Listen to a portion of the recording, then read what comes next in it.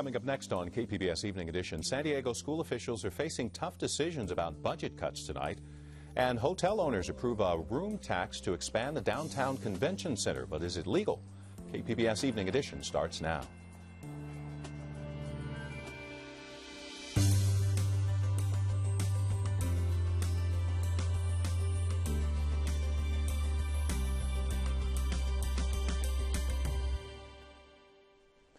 Good evening. Thanks for joining us. I'm Dwane Brown. Joanne Faryon is on vacation.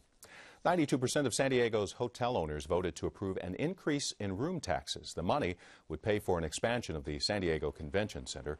The tax is expected to raise nearly $36 million over 30 years. The city of San Diego will pitch in another 3.5 million a year. Uh, we see this as an investment, so uh, if this money weren't to come in, we would actually be pretty far in the hole. So we uh, expect uh, with the very conservative estimates that we've made that the city's TOT will go up dramatically. TOT stands for Transient Occupancy Tax, the hotel room tax. City Council still has to approve the proposal. Then a judge will be asked to determine if the funding plan is valid. Mayor Sanders says he expects to break ground on the convention center expansion later this year. Uh, Camp Pendleton Marine has been arrested in the murder of another Marine's wife. Luis Perez had been a person of interest in the death of 22-year-old Brittany Kilgore. Investigators say he was the last person seen with her. Perez is the second person arrested in the murder. 25-year-old Jessica Lopez was arrested last week. San Diego Unified School trustees will vote tonight on eliminating more jobs to balance next year's school budget. KPBS education reporter Kyla Calvert joins us from the News Center. We've already heard about more than 1,600 possible layoffs in the school district, Kyla. So what is the board voting on tonight? That's right. More than 1,600 teachers, librarians, counselors, nurses got notices in March that they could be laid off. And tonight, the board will consider sending similar notices to about 975 classified staff. And classified staff include people like bus drivers, cafeteria workers, office clerks, classroom aides. And actually, about a third of these notices, or more than a third, would go to people who work in the school's preschool programs. And teachers and parents were rallying before the meeting to protest those cuts specifically. But all of these notices, a total of about two, uh, 2,600, are part of the district's plan to cover a $122 million projected, projected shortfall for the fall. And what does voting to send out these notices actually mean? Well, it means that the district has until May 15th to finalize the teacher layoffs and the positions they would vote on eliminating tonight, that would be final as of June 30th. So the district has until June 30th also to finalize its budget and all of the projections that the district is using right now are based on the state budget proposal that was put forth by Governor Jerry Brown in January. So between now and the end of June, you know, a couple things are going to happen. The governor will uh, present a revised budget proposal in May, which could change the school's financial outlook. And the state legislature will, hopefully by the end of June, approve a final state budget. And it isn't until that final state budget is in place that the schools will really know how much money they're working with and how many people they can employ next year. Okay, KPBS education reporter Kyla Calvert. A new report says nearly 80% of San Diego college students talk or text on their cell phones while driving. Researchers at UC San Diego say it's the college generation's version of driving under the influence. Half of the students in the online survey say they send texts while driving on the freeway. Of course, you can find the complete study on our website, kpbs.org.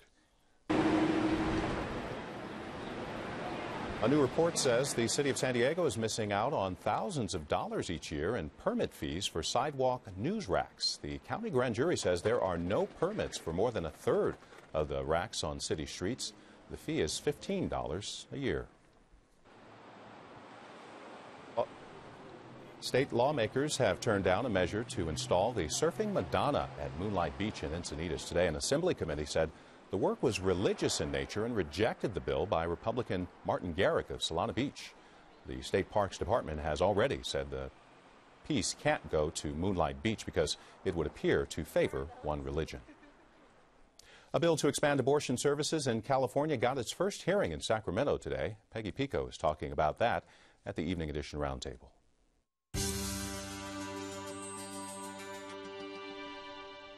Just as a number of states around the country are enacting laws to make abortions more difficult to obtain, a proposal to expand access to abortion is making its way through committees in Sacramento. State Senator Christine Kehoe of San Diego has introduced Senate Bill 1338.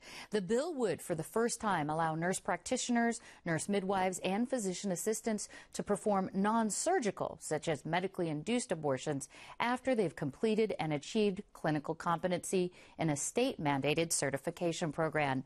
Joining me now to talk about the bill is my guest, Vince Hall. Vince is Vice President of Public Affairs for Planned Parenthood in the Pacific Southwest. And Vince, thanks so much for joining us. I guess the first question would be how much would these provisions actually change the existing law? Well, they would make a very important and significant change to existing law in that we currently allow those categories of advanced practice clinicians that you just described, the certified nurse midwives, the physician's assistants, and the nurse practitioners to provide medication abortion. This bill would allow them to also provide, during the first trimester, a non surgical aspiration abortion. And that is, has been proven to be safe and effective. It is, uh, the safety of those practitioners providing the service has been proven by a four and a half year long study done by the University of California in partnership with the state of California. And when, so that's the change. When we're talking about aspiration abortions, just to be clear, we're talking about uh, it, it's it's the most I, I, don't want to say popular, but the most used. Certainly type, most common. Most yes. common type of uh, abortion, and it happens before 16 weeks? Yes, well, this bill would limit the availability of the procedure from a advanced clinician to just the first uh, trimester. Second trimester procedures obviously have more complications to them. It requires more skill, and that is reserved for medical doctors. Currently, under California law, only medical doctors can provide that procedure in the first trimester. Other states uh, have shown that these clinicians can provide that safely. The study that's been done over the last five years here in California has shown through 18,000 procedures that these clinicians can perform the procedure very safely. Uh, patient satisfaction is very high when receiving this procedure from clinicians. So it is a logical next step because it addresses a very significant problem in California, which is that more than half of our counties don't have a single abortion provider. And so you have many women who have a constitutional right to choose, but they don't have any practical access to an abortion provider. And is that why Planned Parenthood has been running ads on the radio and also on YouTube? I want to take a look at that ad right now. So let, us take a look at it and then mm-hmm. let's talk about um, why the support for this. Certainly. I'm asking for your help to pass two very important bills coming before the California legislature this week. Both are critical to women's health. If passed, they'll increase access to comprehensive reproductive health care you can help by urging our state senator Juan Vargas to stand with Planned Parenthood in supporting this legislation. Okay, so again, a, a push for it, an area, a population of people who don't have access in San Diego County. Is that a real problem?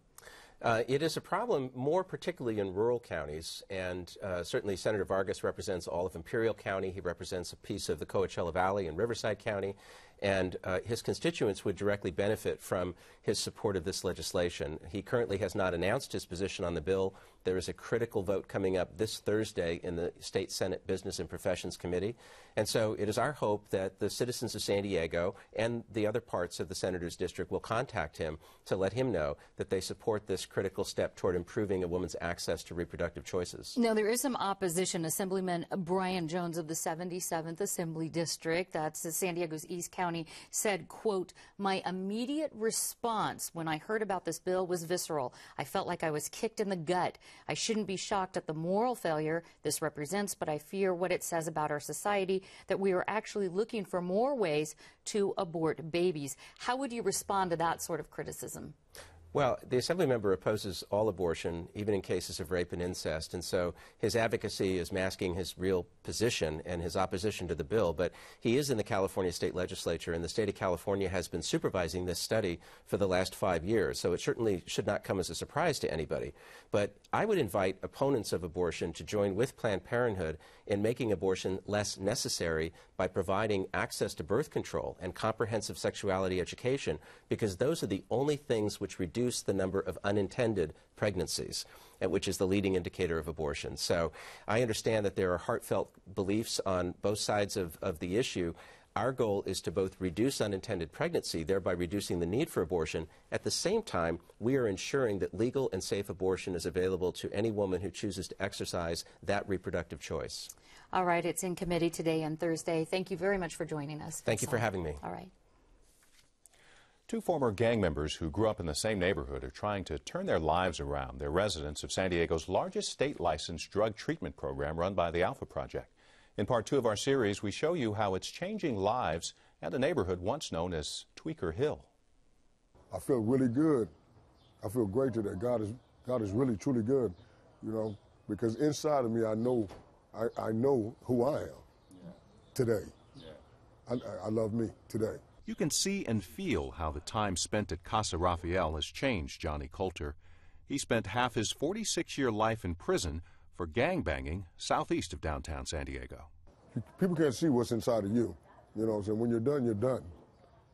You know, if you're not, then you can keep on doing the same old things, expecting different results, which is still insanity.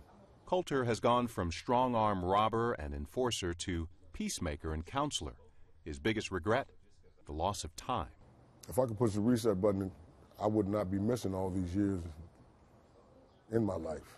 I'd be something somewhere with my family, with my children. Casa Rafael is a three step residential rehab program. It takes 9 to 12 months to complete. She's been sober 15 years now. She runs the day center. Alpha Project's Bob McElroy says more than 80% of the graduates remain clean and sober three years after leaving the program. Oh, they get a whole perspective on reading back mm-hmm. and seeing where, they, where their stinking thinking was and how they're thinking today. Stinking yeah. thinking. Stinking thinking. He says before Casa Rafael took up residence in this renovated motel in Vista, it was known as Tweaker Hill, where crystal meth and criminal activity was all too common. So the city was so fed up with it, they asked us if we'd locate our treatment facility here. I did whatever the hell I felt like doing. Former gang member Ricky Cervantes is in his third month of sobriety. He now wants to be a role model for the young guys in his Logan Heights neighborhood. I have a lot of kids out there from my neighborhood that I call my sons that I carry under my wing.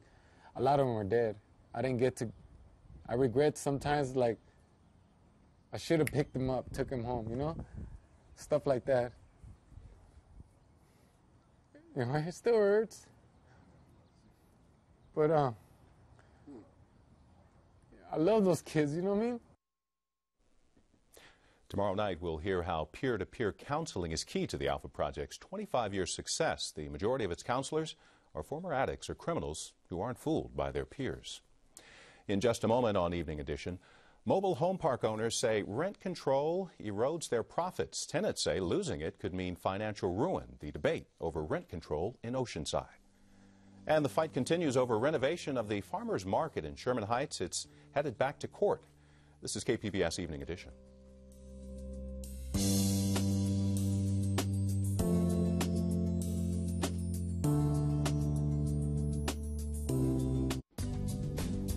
Tonight on KPBS. At 8, what was really going on behind the stately walls and under the servants' stairs? Look beyond the fiction to the truth of how life was on Secrets of the Manor House. Then at 9, it was the year the boom went bust between the roaring 20s and the Great Depression, the crash of 29 on American Experience. And at 10, Frontline brings you the story of a newly elected president with a mandate for change and how he grappled with Wall Street. That's tonight on KPBS. I'm Ray Suarez. On the next news hour from Arizona, a report on the tough immigration law ahead of Supreme Court arguments later this week. That's Tuesday on the PBS NewsHour. In the last year, KPBS News has been honored with nearly three dozen awards. I'm extremely proud of these honors, and I thank you for your support as we continue to serve our local communities with award winning news coverage in the years to come. KPBS Evening Edition is made possible by Joan and Irwin Jacobs and by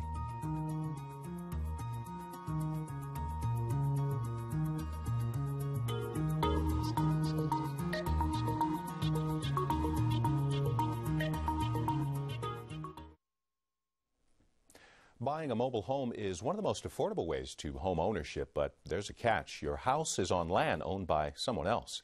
KPBS reporter Allison St. John says rent control gives mobile homeowners some security, but park owners are trying to overturn it. In Oceanside, a June ballot measure seeks to phase out rent control for the city's 17 mobile parks. One thing to get straight up front is that mobile homes are not really mobile. So the homeowner's security is inextricably tied to the owner of the land it sits on, the park owner. Linda Walshock bought a brand new manufactured home in Mission View Mobile Home Park four years ago after she suffered a series of strokes and had to stop working. We've been priced out of stick built homes, we've been priced out of apartments. And the only option that was really available to us was manufactured homes. Walshaw paid a premium for the new house, $120,000 at the peak of the market. Because it was in a rent controlled park, she knew she'd never be priced out. But last year, the Oceanside City Council passed an ordinance to phase out rent control in the parks. That means park owners could raise rents from a few hundred dollars a month to a thousand or more. Walshaw says her home lost value like every other house in San Diego, but without rent control, the value has plummeted. Because if they can raise the rents without limit, then no other buyer is going to want this house. I've invested my life savings in this house. I've already lost a great deal of money since I moved into it, and this will take the rest. If I lose this home, I lose everything. So, who would gain? The mobile home park owners, whose profits have been gradually eroded over the years by rent control imposed back in 1984 by the City of Oceanside.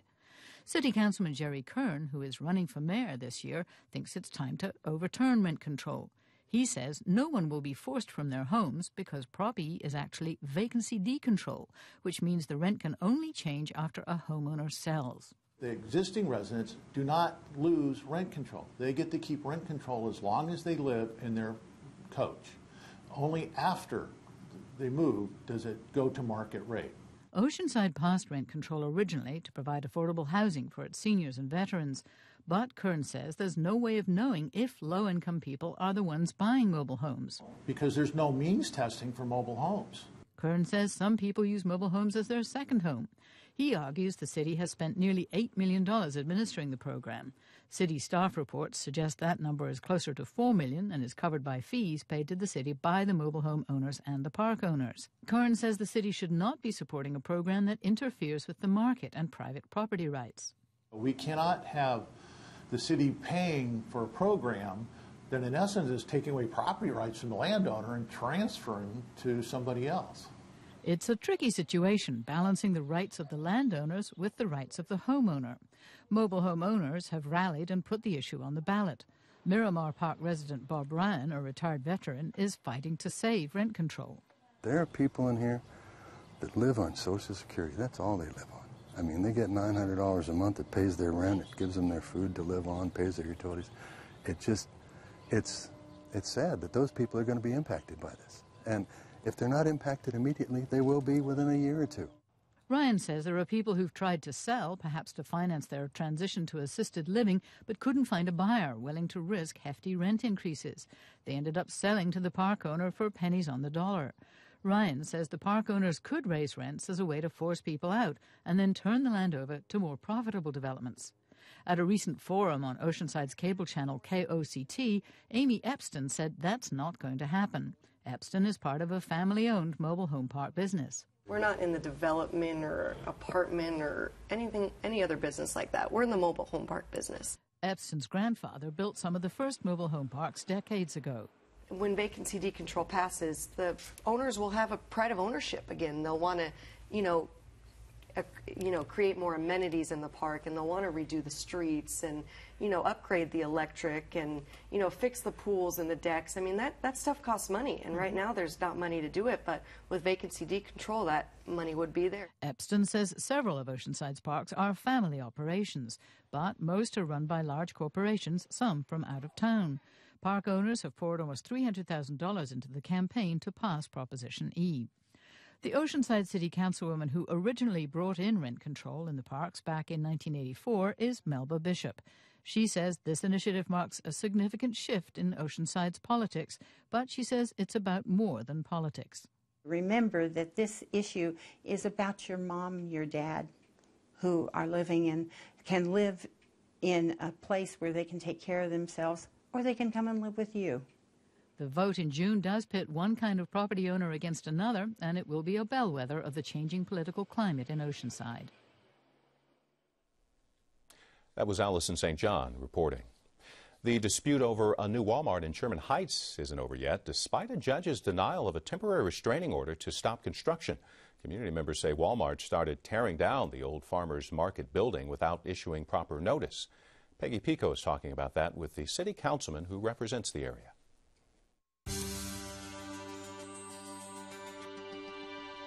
Walmart issued a statement after yesterday's ruling saying, in part, it's good news when construction teams are back to work and residents are a step closer to getting what they have overwhelmingly said they want more job opportunities and affordable grocery options in their own neighborhood. Joining me today to discuss the latest on this story is San Diego City Councilman David Alvarez. He represents District 8, where the new Walmart is planned. Thank you very much for joining me here today. Let's start with the basics do the residents in Sherman Heights support the Walmart store there in general? Do they want a grocery store there? Residents of Sherman Heights and of Logan Heights, because the store is really located between a couple of communities, have been asking for a long time for a grocery store, for good produce, for good quality produce. Uh, not only that, but also other amenities like a pharmacy, which is uh, also being talked about as part of the store. So, absolutely, the community overwhelmingly uh, is in support of a grocery store coming into the community.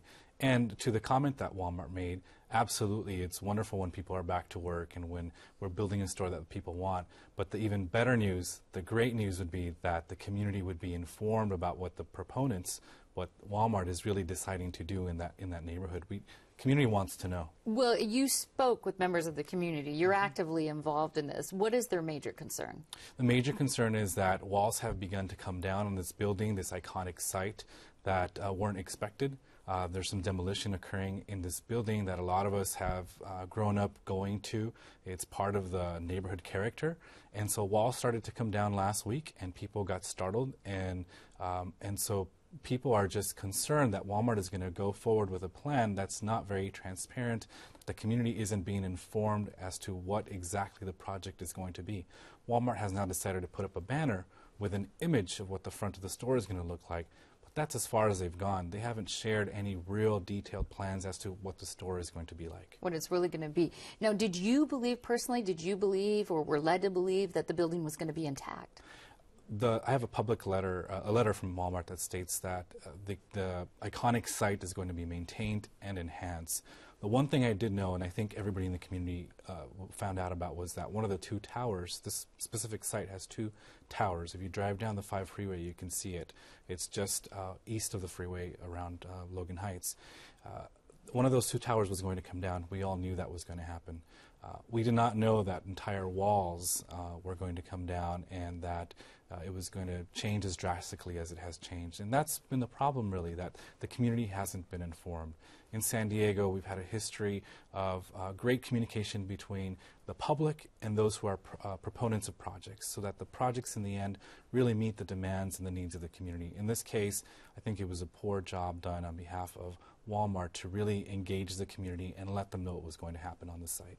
What kind of community involvement would you like to see? How would you like the community involved? Well, one of the things that Walmart could do is hold a public meeting, a public forum where they're going to where they would discuss in detail what their proposal is. One of the things that they've decided to do is go to a few individuals throughout the community and just explain it to them. Um, they pulled per permits back last summer. The first time I heard the council member who represents this area, the first time that I heard about this store was about two months ago. And so clearly they were moving on a path without really trying to engage the community. And so that's really what's the wrong in this whole in this whole situation. The communication is really lacking. Do you think it's too late to win back the trust, or do you think they can win back the trust of the community? I think it's absolutely not too late. If in fact I've been telling Walmart um, in the press conference that was held last week, in my personal conversations, that let's get down. Uh, to business, let's engage the community, let's reach an agreement, let's all stand together uh, when you announce the store is going to be opening, the community and Walmart and civic leaders and say this is a great win-win for the community. Let's do it. It's not too late. Has construction resumed, and if not, what, what's next? Well, uh, the judge uh, issued a uh, negated the uh, restraining order, and so construction can resume as a result of that. Uh, I drove by today this morning, and there's work being done in the interior of the building. I have not seen any more walls being demolished, so construction has continued. All right. Well, thank you, man. Uh, thank you so much, Councilman Alvarez. My pleasure. Thank you. But opponents of the new Walmart have filed another legal action based on the state's Environmental Quality Act. That means the issue goes back to court tomorrow morning. This is KPBS Evening Edition. Hi, I'm Yul Kwon from the new PBS series America Revealed. Make Wednesdays your destination for exploration. First, on nature, encounter the radioactive wolves of Chernobyl. Next, Nova unlocks the secrets of our nearest star, the Sun. Then, join me for America Revealed and see how we produce and deliver energy to a switched on nation. This Wednesday, PBS is your destination for exploration. Punch you? Yes, punch me in the face. Didn't you hear me? I always hear punch me in the face when you're speaking, but it's usually subtext. Crime Fighting's most famous couple is back. We're not a couple. Something big's coming. A monstrous hound. A power play with the most powerful family in Britain. Oh, this is getting rather fun, isn't it? I've missed something, haven't I? The new season of Sherlock on Masterpiece, coming in May. Only on PBS.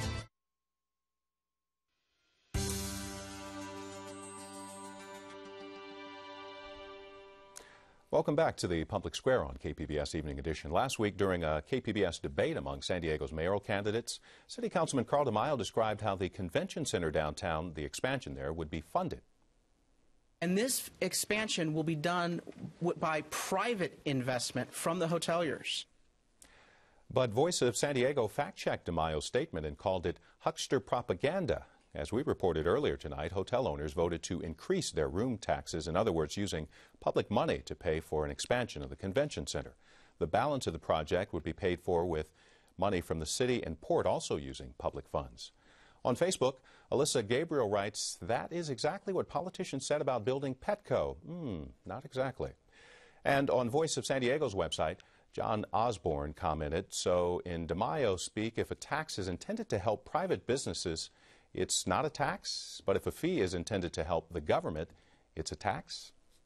Of course, you can have your say by following us on Twitter, liking us on Facebook, and of course, you can email us. Re recapping some of tonight's top stories, San Diego school trustees vote tonight on eliminating almost 1,000 more jobs to balance next year's school budget. If approved, more than 2,600 district employees will be at risk of layoff. And researchers at UC San Diego say nearly 80% of college students surveyed admitted to driving while texting or talking on their cell phones, but only a quarter of them say they frequently use a hands-free device. You can get more on these stories at our website, kpbs.org slash evening edition. Thanks for joining us. You have a great night.